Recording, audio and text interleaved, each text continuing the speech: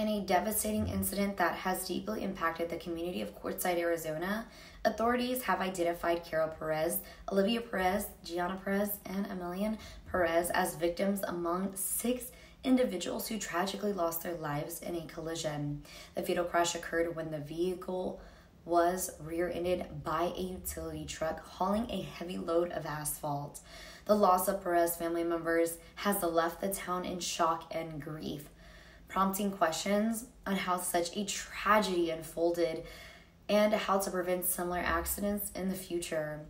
Avian Law Group extends our heartfelt condolences to the loved ones of Karyl, Olivia, Giana, Emalynn, and the other victims involved. As the investigation continues, we offer our unwavering support to the legal guidance to those impacted by this heartbreaking event. This serves as a somber reminder of the importance of road safety and collective responsibility of all drivers to prioritize the caution and adherence to traffic laws. As we stand in solidarity with the Quartzsite community during this difficult time, we pledge to provide compassionate legal assistance to help those affected seek justice and find solace in the aftermath of this tragic loss.